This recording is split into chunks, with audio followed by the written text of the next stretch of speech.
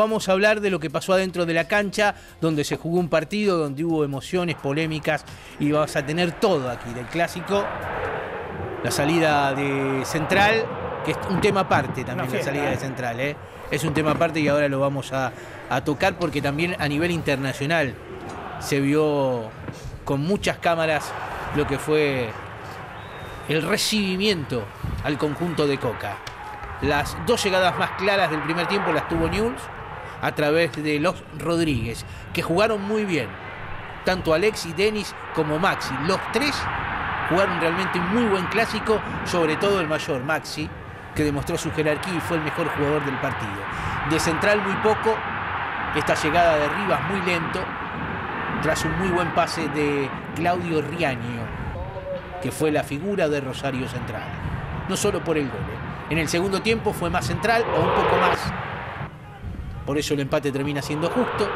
Tuvo dos chances con dos remates, uno de Gil y otro de Zavala, y llega el gol de News.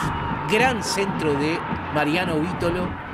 Excelente la corrida, cómo se anticipa al cabezazo, cómo va en busca de la pelota Cristian Lema para establecer el gol de Newell's. Cabezazo inatajable para Ledesma. No podía salir, aparte lo molestaba el sol. Se queda Ciro Rius, que era su marca. Y Newell's no sabe defender lo que era la victoria. Rápidamente Central reacciona. Lema no cabecea bien. Dos, por dos veces consecutivas. Le queda la pelota central. Es muy buena la asistencia de Gil. Esa asistencia para Riaño que define muy bien de primera. Tercera asistencia de Gil en un clásico para un gol de central. ¿no? Y acá lo tuvo Maxi Rodríguez. Qué buen centro, centro de gol. Lo salvó a Central Molina. No hubo muchas más situaciones claras. El partido terminó 1 a 1. Vamos a escuchar voces del vestuario visitante, del vestuario de Newells. Tenemos 20. Será el momento de Newells. El centro de Vito, los pasaditos.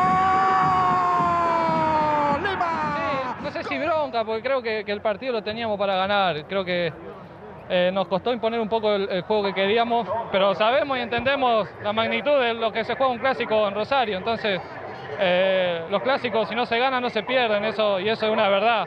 Pero creo que nosotros teníamos para ganarlo eh, y son detalles.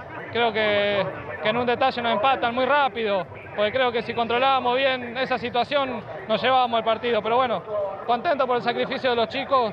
Eh, estamos haciendo un trabajo muy, muy importante, muy serio y bueno, eh, también es importante no perder un clásico. ¿Cómo analiza el empate, Frank? Ah, un partido de trámites parejo, de trámite parejo, así que no, no creo que haya injusticia en el mercado. Y yo creo que muchas veces este, este tipo de clásicos eh, y ahí adentro de la cancha el aspecto mental supera el racional, muchísimas veces. Entonces, eh, en ese sentido creo que a veces se, corre, mucho más, a veces se piensa menos, lo hablo en general, ¿no?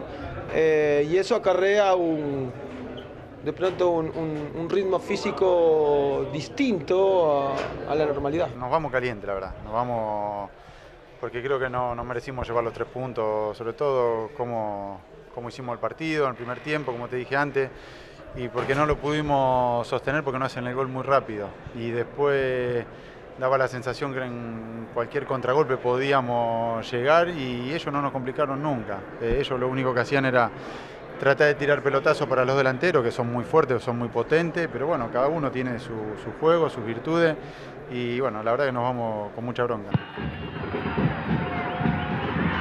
Sí. Ahí estaban las declaraciones de los jugadores de Newell's y del técnico. Ahora pasamos al vestuario local. Esto es lo que opinaban desde el lado de Central.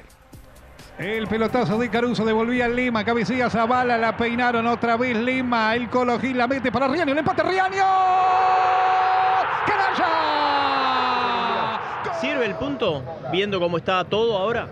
Mira, nosotros debemos ganar. Eh, también dependemos de otros resultados, pero tanto nosotros como ellos Eh, la intención era ganar, es lógico, pero bueno, nada, se terminó así y, por lo que fue el partido no está tan mal. Sabemos que, que se le hace difícil a ellos jugar acá en esta cancha y que pese al gol eh, sabíamos con, qué equipo nos íbamos a encontrar. Tiene, tiene buenos jugadores, juegan bien, pero bueno, creo que hoy Central hizo, hizo un buen partido. Como digo, en el segundo tiempo atacamos, tuvimos 3-4 situaciones de gol que lo podríamos haber ganado.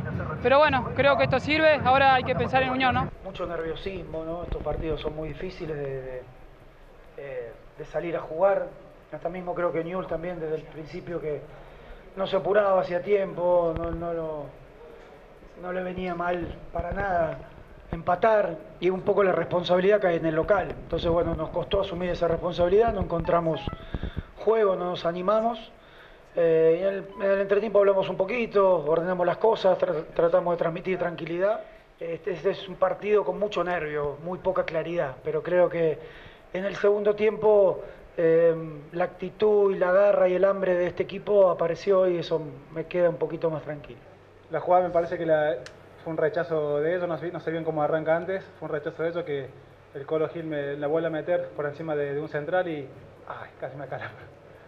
Y, sí, y bueno, me la mete por encima del central y trato de definir de primera para agarrar al arquero saliendo caminando y también para, evitar que, si la paraba me llegaran los, los defensores que tenían piernas largas y me la podían puntear. ¿no?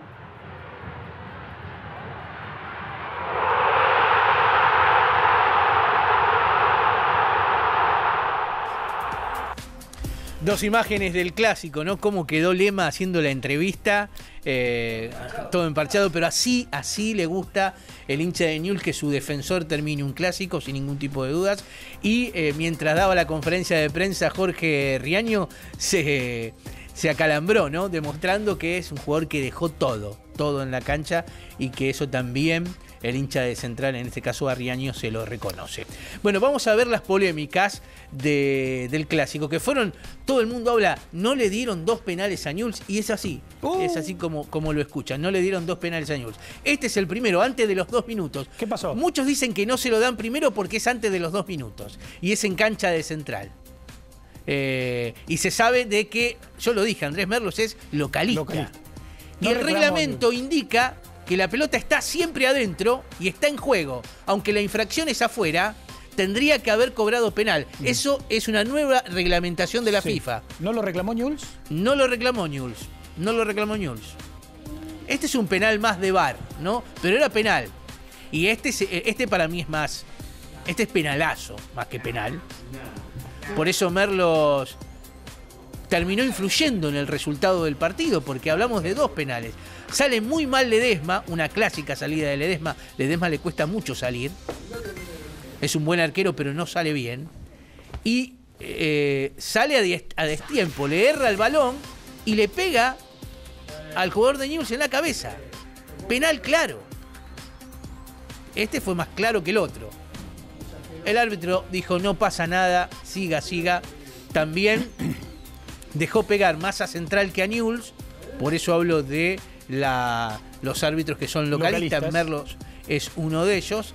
Y después creo que tendría que haber expulsado a Rivas por un codazo a, a Lema y tendría que haber echado a, a Maxi Rodríguez por un codazo a Brites. Pero el árbitro eh, termi- terminó perjudicando a Newells. Fue localista en este caso. Ahí está.